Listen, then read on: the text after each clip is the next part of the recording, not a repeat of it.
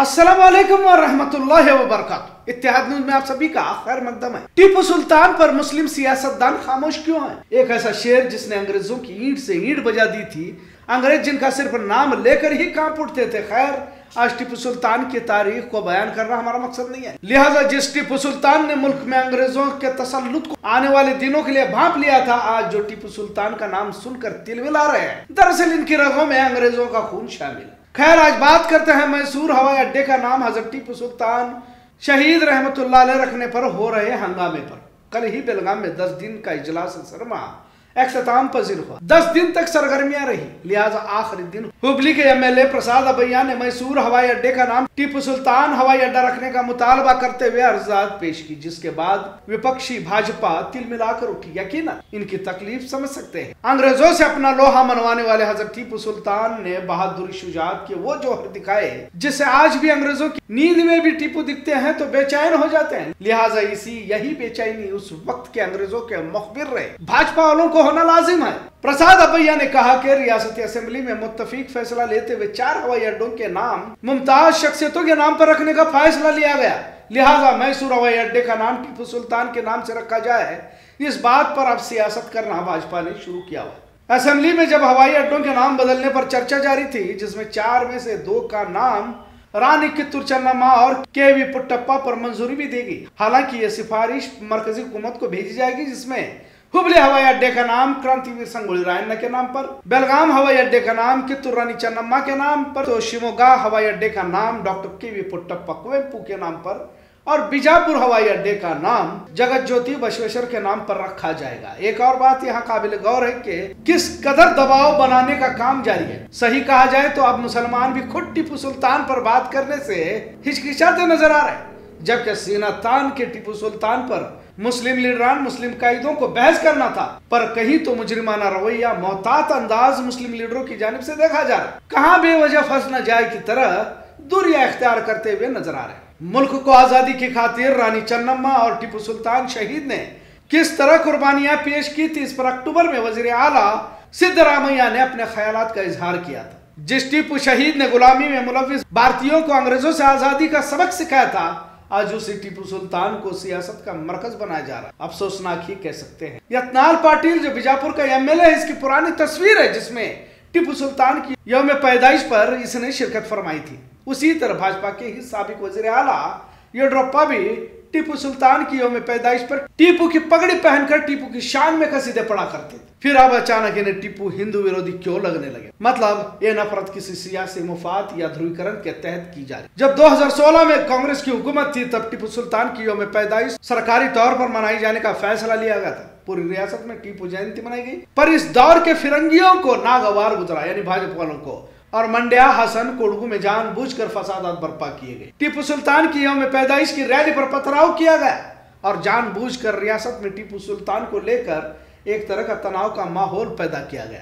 अब मुल्क की सतह पर हिंदू मुस्लिम नफरत इसी भाजपा संघ की हुकूमतों में परवान चढ़ने लगी। मुसलमानों से नफरत, मुस्लिम बादशाहों के खिलाफ तोहीन आमोज अल्फाज इस्तेमाल करना, गोया सियासी कामयाबी की जमानत लगने लगी। ज़ाहिर है इसका असर भी कर्नाटक में नज़र आने लगा। श्रीरंगपट्टन के मस्जिद आला के नीचे मंदिर होने का शगुफा भी छोड़ा गया। मस्जिद आला में घुसकर पूजा की धमकी भी हिंदुत्व तंजीमों की जानब से दी गई। इसी तरह एक नैरेटिव टीपू सुल्तान को लेकर रियासत में सेट किया गया, जहाँ पूरे मुल्क के आज़ादी की खातिर सब कुछ निछावर करने वाले टीपू महज मुस्लिम बादशाह होने पर अब सिर्फ़ एक समाज के ही हीरो बन गए। हिंदुत्व तंजीमों का तसल्लुत कहीं तो मुसलमानों ने भी खामोशी से ही क्यों ना हो, पर कबूल कर लिया, ऐसा लगता है। तभी तो आज जब यतनाल जैसा जहनी बीमार इस अजीम बादशाह पर कुछ भी कह देता है, जबकि टीपू का नाम लेने की औकात इसकी नहीं है, और पूरा मुस्लिम समाज खामोश रहता है, इसका क्या मतलब लिया जाए? आज जब प्रसाद अबैया मैसूर हवाई अड्डे का नाम टीपू सुल्तान हवाई अड्डा रखने का मुतालबा पेश करता है तो तमाम रियासत में एक तरह की खामोशी देखी जाती है।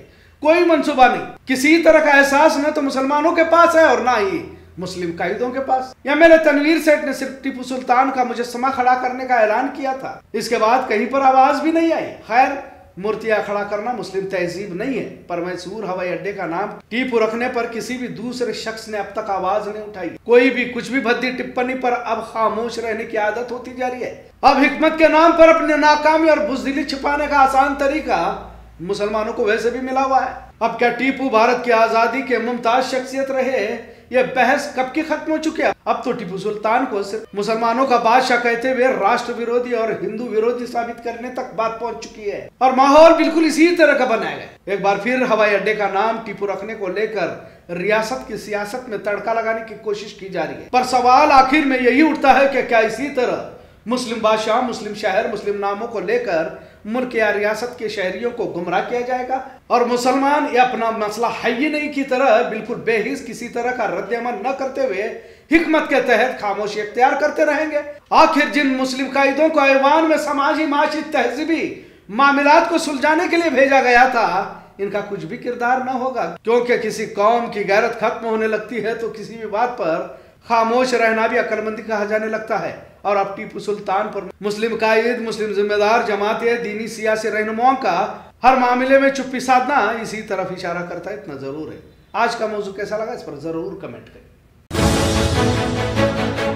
अब कुछ अहम खबरें। आज बेलगाम में भाजपा मरकजी हुकूमत की जानिब से वंटमूरी की वारदात पर तफ्तीश कमीशन भेजा गया। और उन्होंने अस्पताल जाकर मुतासर खातून और गाँव में जाकर जायजा भी लिया। और कहा कि खवातिनों ने जिस सिद्धरामैया हुकूमत को इकतदार पर पहुँचाया, उसी हुकूमत का इजलास शहर बेलगाम में जारी था और उसी दौरान वंटमुरी की शर्मनाक हरकत अंजाम दी गई। पुलिस ने भी पहुँचने में ताखिर किया। सिद्धरामैया हुकूमत खातिनों के हुकूक को पामाल करने वाली है कहा गया। पर कुछ सवाल तो भाजपा की उन पाँच खवातिनों के कमीशन को मणिपुर में खातून को बराना करने पर खामोश इख्तियार की गई। इसी तरह बिल्किस बानो के कातिलों को रिहाई करने पर मिठाई तकसीम की गई और इनकी रिहाई पर भी इन्हें जवाब देना था, नहीं दे पाए। साथ में भाजपा हुकूमत ने खातन खिलाड़ियों के साथ दौरान एहतजाज क्या बर्ताव किया? लिहाजा, कई सारे सवाल का जवाब देने से बेलगाम के लिए खातनों के हकूक को लेकर आई नहीं बोल पाई इतना ज़रूर।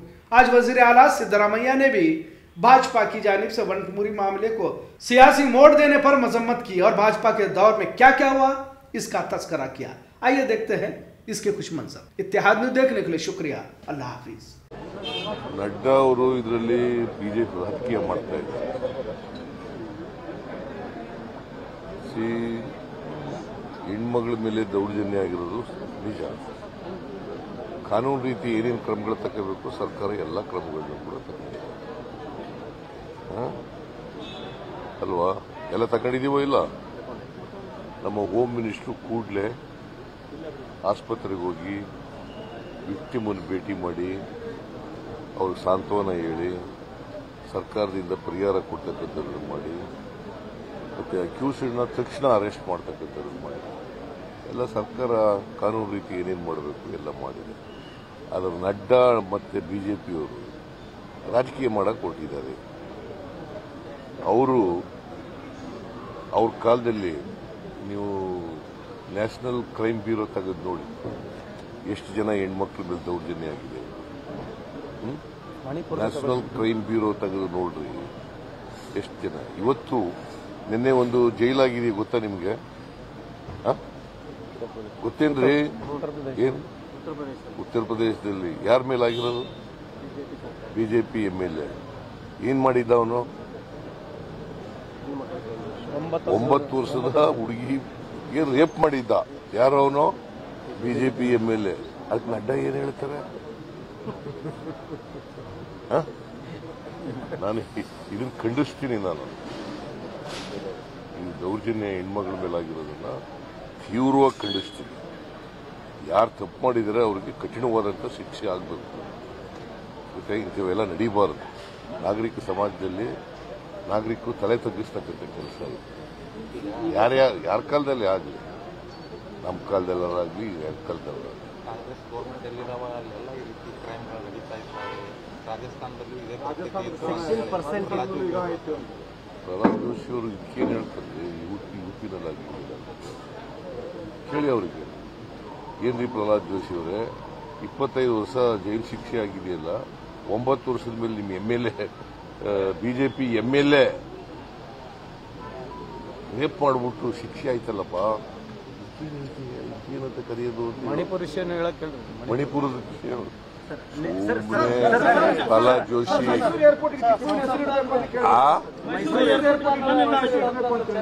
ಕೆಲವು ಉತ್ತರ ಕೊಡಲ್ಲಪ್ಪ ಅವ್ರ ಅಭಿಪ್ರಾಯ ಅವ್ರ ಅಭಿಪ್ರಾಯ ಹೇಳಿದ್ದಾರೆ ಸಿ ಬಿಜೆಪಿ ಅವ್ರಿಗೆ ಅವ್ರಿಗೆ ಬುದ್ಧಿ ಸ್ವಲ್ಪ ಕಮ್ಮಿ ಇದ್ದಾಗ ಕಾಣಿಸುತ್ತೆ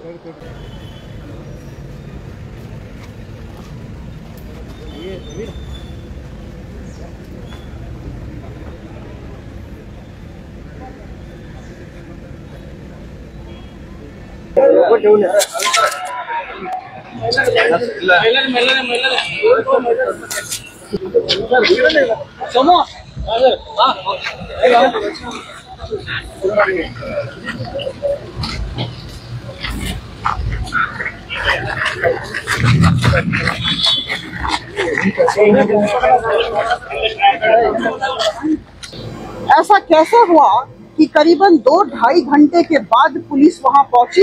यह सबसे बड़ा प्रश्न है, जो मुझे लगता है पूरा देश इस प्रश्न का उत्तर जानना चाहता है।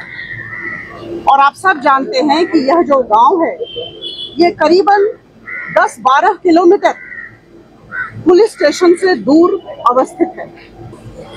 ये जो कानून व्यवस्था है, चरमरा गई है कांग्रेस के सरकार में। और इसी वजह से ये जो थाना अधिकारी है, ये रात में वहाँ नहीं पहुँच पाए, उन्हें लगा ये छोटी घटना है। तो ये कांग्रेस सरकार की मानसिकता को दर्शाता है।